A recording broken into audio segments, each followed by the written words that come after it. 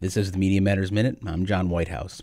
Three Americans received France's highest award after subduing a gunman aboard a train headed to Paris.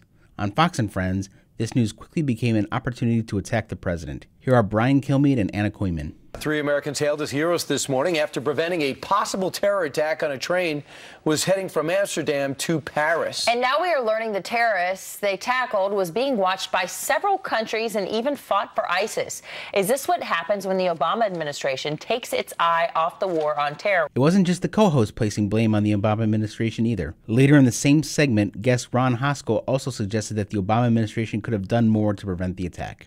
Well, the Obama administration should be spearheading it here, and domestic authorities ought to be closely monitoring and engaging with European authorities. This follows a long line of Fox News personalities blaming President Obama for things that happen overseas.